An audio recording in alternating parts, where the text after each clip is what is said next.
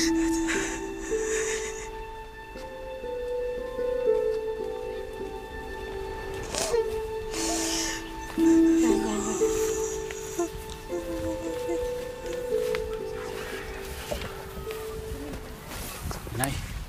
Esperanza, mabuti nandito na kayo.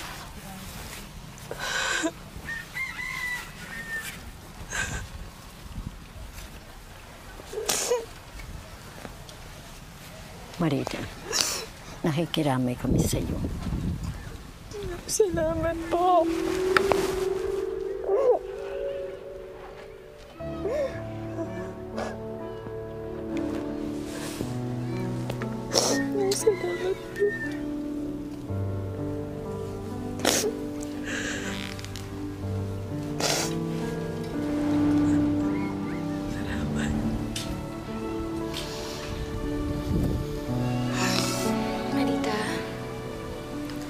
Kung nandito si Tata Shano, sigurado kung hindi niya gusto yung makita ka nagkakaganyan. Huwag ka mag-alala. Nandito naman kami. Hindi ka namin papabayaan. Salamat.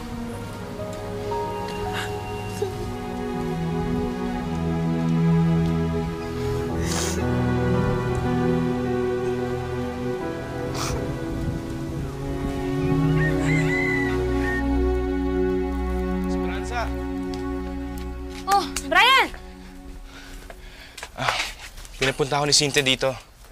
Sabihin ko raw na huwag kayo mag-alala dahil malakas pa rin ang laban ng kaso. Kahit saan husgado ito makarating. Gusto ko rin makasiguro na safe kayo. Safe ka.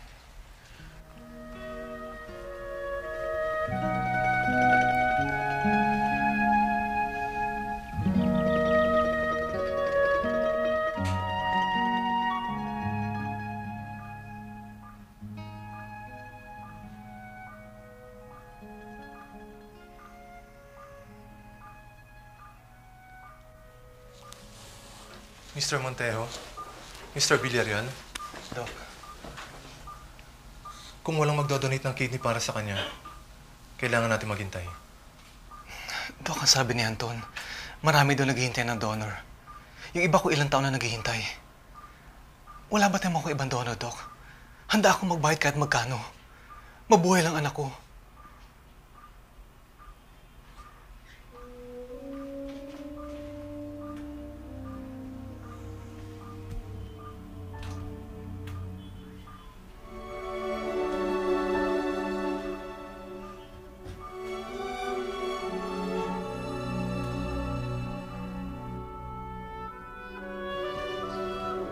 Ate, saan tayo pupunta? Ipapasyal ko kayo ng ate Andrea mo. Eh, ate, sino siya? Ah, si Brian, kaibigan ko. Brian, mga kapatid ko si Junjun at si Andrea. Basta kayo? Oh, saan niyo gusto mamasyal?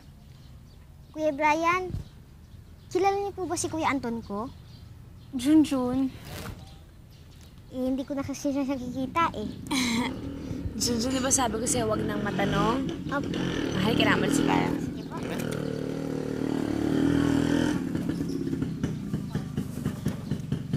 Hoy, babae. Saan mo dadali ng anak ko?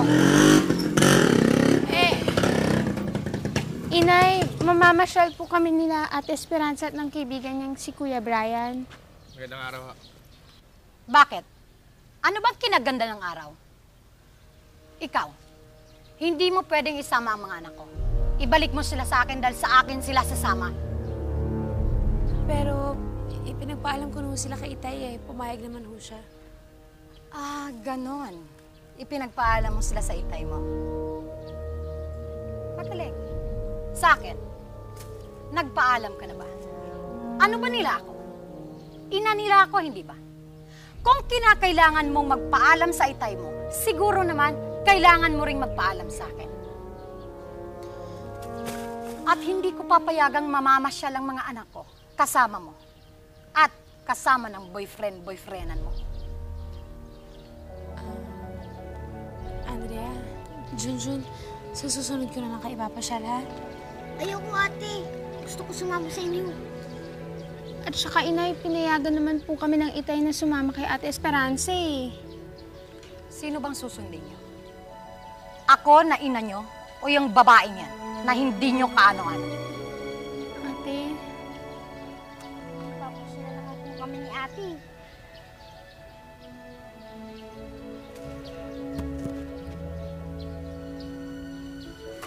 Ito. Pinamili ko para sa inyo. Bahala kayo sa buhay niyo.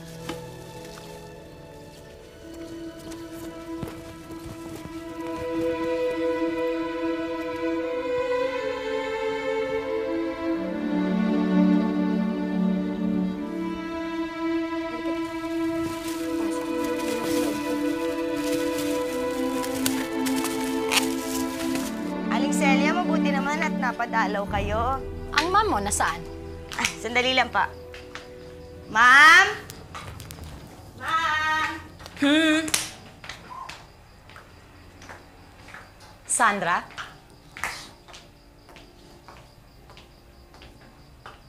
Celia, napasyal ka. Di ba meron kang gustong ipagawa sa akin laban kay Esperanza? Nakahanda na ako. Gagawin ko ang lahat. Makaganti lang sa babaeng yun.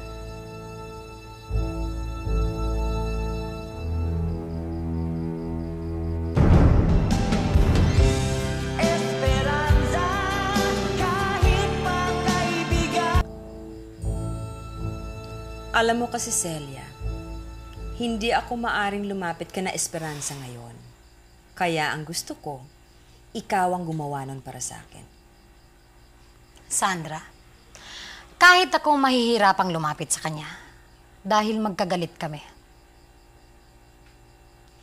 Kayang-kaya mo yon, Celia. Ikaw pa, Mare. Ang gusto ko, dalin mo si Esperanza sa lugar na pag-uusapan natin na mapagkakasunduan natin. At doon sa lugar na yon, may mangyayaring aksidente. Ipapapatay mo si Esperanza? Sandra naman, kahit gaano kalaki ang galit ko kay Esperanza, hindi ko pa rin kayang pumatay ng tao. Kahit ako rin. Hindi ko rin kayang gawin yon. Hindi ako kriminal. Tatakutin ko lang. Si Esperanza, tatakutin mo. Sandra, wala nang kinatatakutan yung babaeng yun. Ako nang bahala doon. Baka naman ikaw ang natatakot. Huwag mong kalilimutan na si Esperanza ang punot dulo ng paghihiwalay ninyo ni Raul. Huwag mo rin kalilimutan na siya ang dahilan ng lahat ng pag-aaway ninyo. Na kung hindi dahil sa kanya, sana hanggang ngayon, magkakasama pa rin kayo sa iisang bubong ng masaya. Pero nasaan ka ngayon? Nag-iisa ka.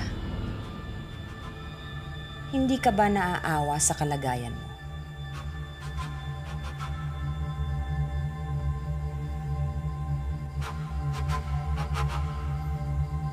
Kailan mo gustong isagawa ang aksidente?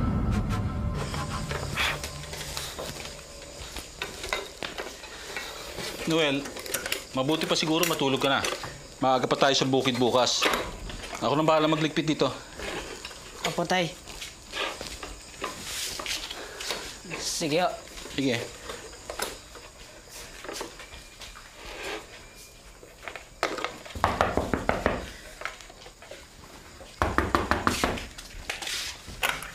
Guys, Oh, Rita.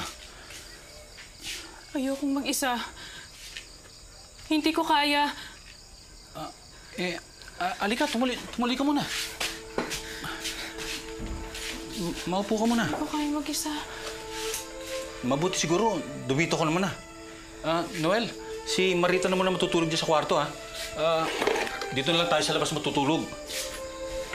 Mabuti pa siguro, puntahan mo si, si Danilo at manghiram ka ng banig para tabi tayo matulog. Opo, tay. Sandali, pagkahanda kita ng mainit siya.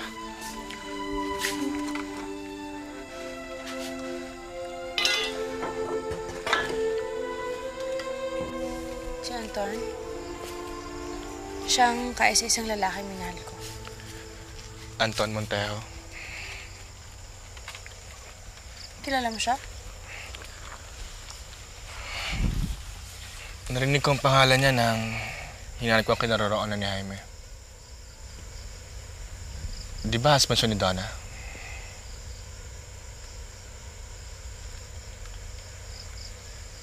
Mahal mo pa ba siya? May asawa na siya, Brian. Pero mahal mo pa rin siya. Kinalimutan ko na si Anton. Sana... Sana dumating ang panahon na tuluyan mo na siya makalimutan. Maghihintay ako, Esperanza.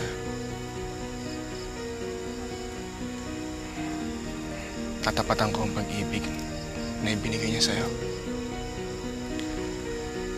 At ipinapangako ko, hindi kita hayaan masaktan.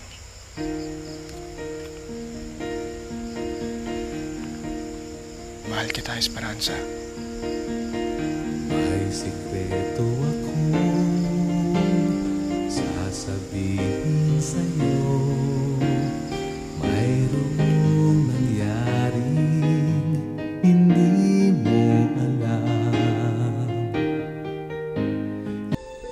Hanggang ngayon, hindi ko pa makalimutan ang itay ko. Hanggang ngayon, naiisip ko pa rin siya. Hanggang ngayon, nalulungkot pa rin ako. Simula nung magkaisip ako, kami ng dalawang magkasama. Sa lahat ng pagsubok, sa lahat ng hirap, sa lahat ng saya.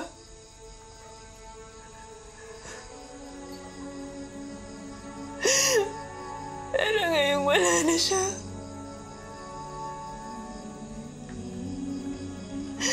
Wala na akong dahilan para mabuhay. Hindi ko na alam kung ano pang gagawin ko.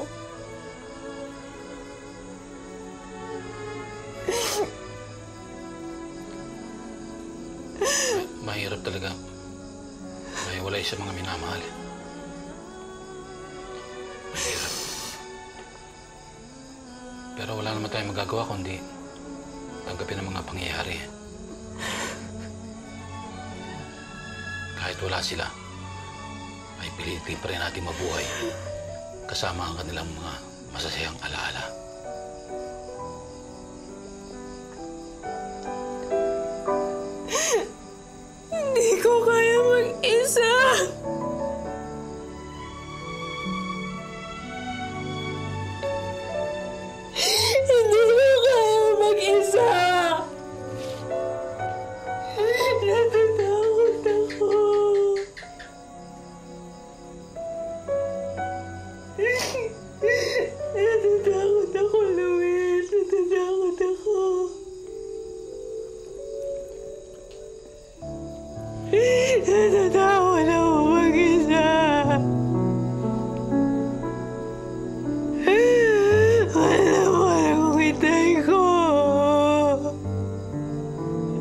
Itay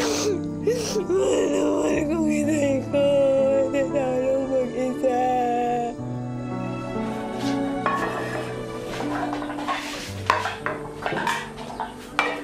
Uy, Marita, magandang umaga sa'yo. Umaga sa'yo, Marita. May may tutulong ba ako sa inyo? Kaya na namin to. Maupo ka na lang dyan. Maya-maya lang. Tapos na to eh. Ano, Marita? Mabuti, umupo ka na lang dito. At kami nang bahala sa lahat. Kasi madalas kami yung tatay ang nagluluto eh. Mula nung napalayo ang inay. Dali lang ha. Hindi kasi ako sanay na inaasikaso at pinagsisilbihan eh. Ay! Noel! Oh, Nilo. Uy, Rita, nandito ka pala. Ah, kasi nalulungkot siya sa bahay nila, kaya dito muna daw siya. Umupo ka na. Pagkakasal na rin eh. Naamoy ko nga yung niluluto niya, ginutom ako. Konti na na to. Sige. Eh, sige. Marita, okay ka na ba? Medyo.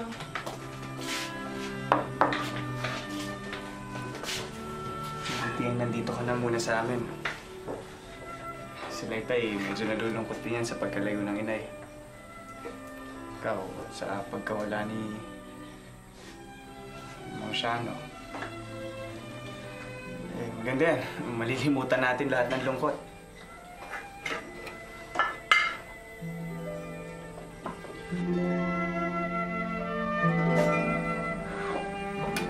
Oo, ano, kain na tayo. Hindi ka na. Eh, Noel, tama na yan. Sobe ka na muna dito, ha? Sige, sige. Ayan, ayan, yan talong. Masarap yan. Sinong nagluto nito? Ay,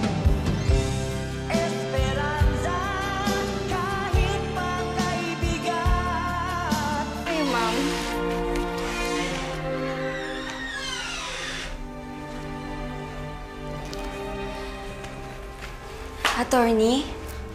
Oh, Elaine. May problema ba? Ah, maupo ka.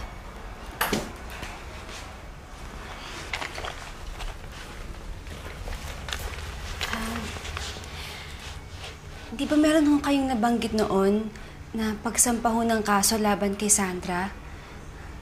Tungkol po dun sa pagpatay kay Mayor Montejo. Wala pa akong makuhang ebidensya para patunayan yun. Wala pa rin lumalabas sa testigo para magpatotoo dun sa balitang yun. Ako po. Kami po ng inay. Ano yung mong sabihin? Meron kang nalalaman tungkol sa pagpatay ni Sandra kay Montejo? Opo.